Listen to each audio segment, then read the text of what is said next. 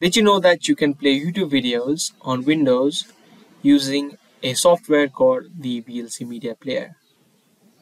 If you did not, then you will need to keep watching this video because in this video, I'm going to show you how to play YouTube videos in VLC Media Player in PC. If you don't have the VLC Media Player, you can download it. If you type VLC Media Player on the web browser and you can open up the website and you can download it from here. Next, you need to search for the YouTube video that you want to play. Open up the YouTube video and then tap on share and then copy the link to it. After that, open up your VLC media player.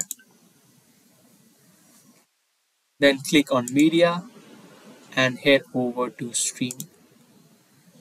In stream, you will have a few options. You need to click on network and enter in the URL that you just copied.